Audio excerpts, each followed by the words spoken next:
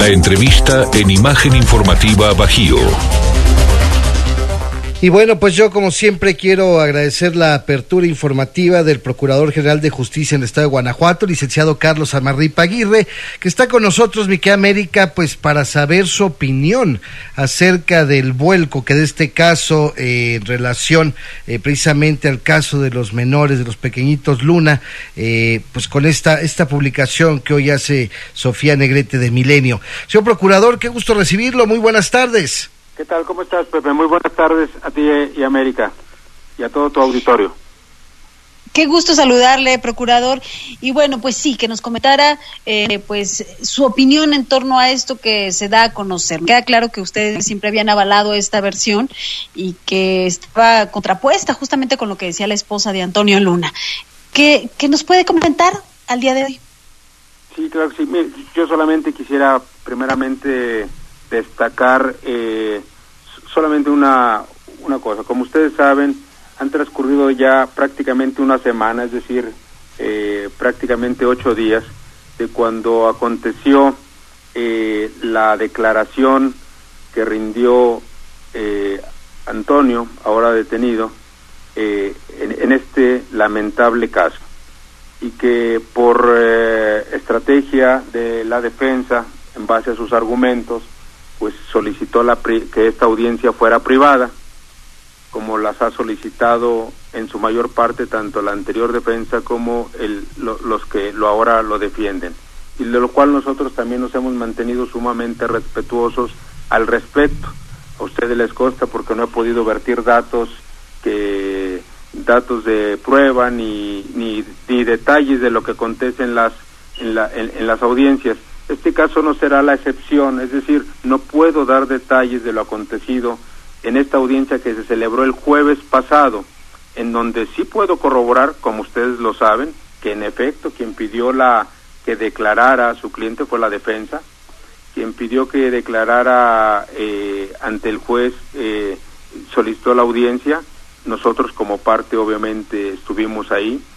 Eh, sin duda eh, eh, hubo una declaración, reitero, no puedo dar los detalles, los conocemos desde hace ocho días y no hemos vertido ningún detalle en respeto precisamente al debido proceso eh, y de los datos que están inmersos ahí, que sin duda son muy lamentables, son delicados, son han lastimado a una familia.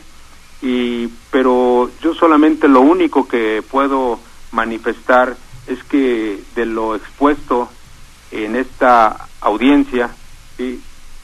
te reitero, no puedo dar detalles, solamente puedo decir que corroboraron los datos de prueba que teníamos en la investigación y de la cual nuestra postura que dijimos de manera inicial sí eh, es precisamente esa.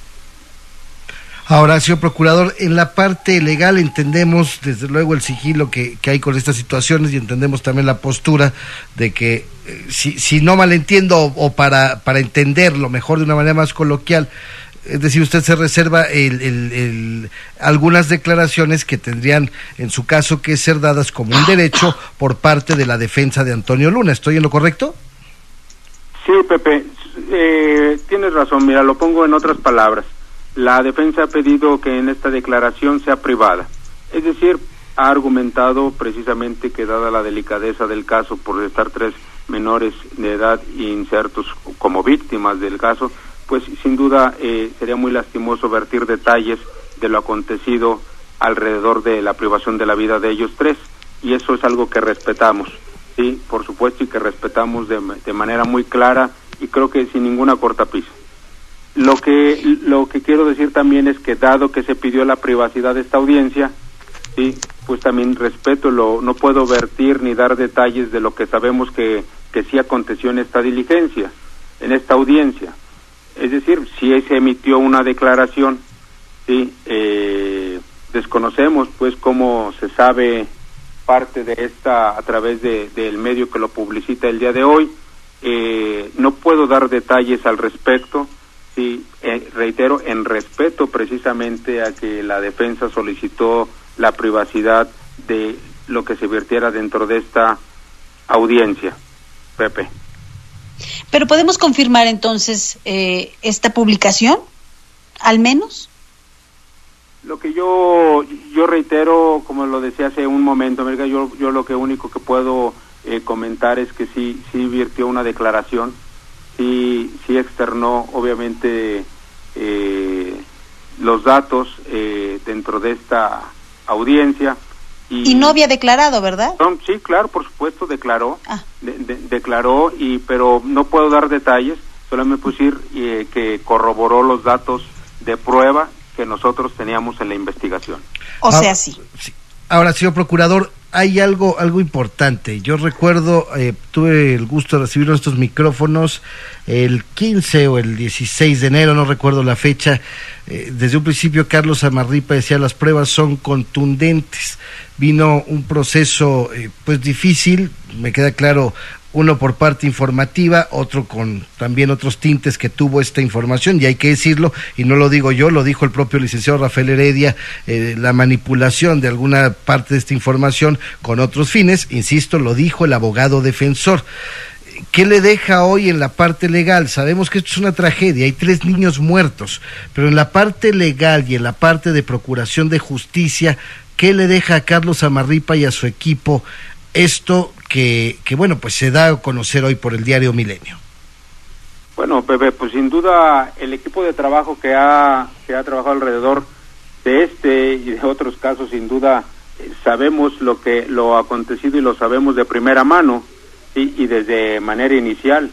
Sin duda por ello hemos tenido una tranquilidad en conciencia que, eh, porque me decían, esto es un respiro para la Procuraduría. Bueno, quizás podría tener eh, algún impacto en la percepción o en la opinión pública, pero nosotros los que estamos llevando a cabo el trabajo de procuración de justicia, nuestros los que integramos pues eh, eh, los equipos de trabajo, sin duda tenemos una tranquilidad en conciencia plena de saber que se está estamos haciendo lo correcto desde un inicio. El que se publicite algunas cosas como el día de hoy acontece, bueno, pues eh, sin duda generará opiniones en la parte pública pero eh, el caso continúa. El caso, me refiero, nos dieron seis meses para la investigación complementaria. Sin duda, esta diligencia solicitada por la defensa es una más de las que se pueden llevar a cabo durante este periodo. Eh, y que, por supuesto, bueno, pues vamos a estar nosotros muy atentos a los peritajes que ha ofertado la defensa, que reitero, fueron, eso sí se lo puedo comentar porque fue dicho también por su defensor, y, lo cual me avala poderlo corroborar y externar de mi voz, que él ofertó peritajes, y así lo dijo, por expertos en materia de psiquiatría y psicología.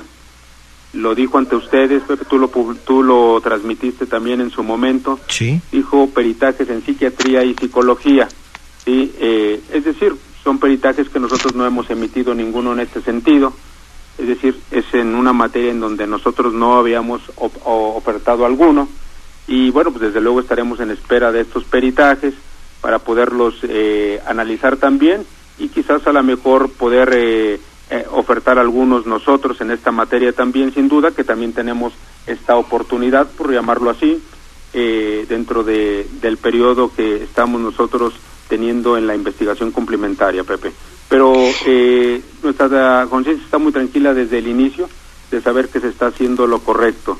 Eh, sabemos ahora que, como tú ya lo has dicho, como lo tú lo has eh, transmitido, lo que ha dicho inclusive su propio defensor, que este caso tuvo grandes sesgos de información, porque eso es, hay que decirlo así, grandes sesgos de información por intereses diferentes a los de que se conociera la verdad.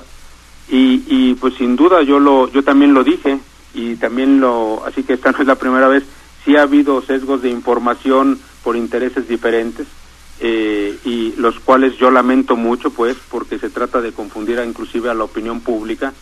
Nosotros seguiremos manteniéndonos respetuosos del debido proceso y sin duda eh, eh, como dijo el señor gobernador la, la, verdad siempre sale a la luz tarde o temprano. Y este caso aún no está cerrado este caso es este caso está en etapa de la investigación complementaria y estaremos nosotros seguiremos haciendo nuestro trabajo hasta el último momento en que se pueda vertir la, la última resolución por parte del órgano jurisdiccional, Pepe. Procurador, le queremos agradecer de verdad que nos tome la llamada y que, bueno, pues estemos aclarando eh, de viva voz del propio procurador, eh, pues todo lo ocurrido. Muchísimas gracias. Muchísimas gracias a ti, América, y por supuesto a, ti, Pepe, y a su auditorio por, por la oportunidad de platicar con ustedes. Muchas gracias, señor procurador, y, ojalá podamos estar en contacto, porque como bien comenta, esto no concluye, hay un plazo de seis meses, y ojalá podamos seguir eh, con ese contacto informativo para el público que nos escucha en más de 23 municipios del Estado. Muchas gracias, señor procurador. Muchas gracias a ti, Pepe. Hasta luego. Hasta luego.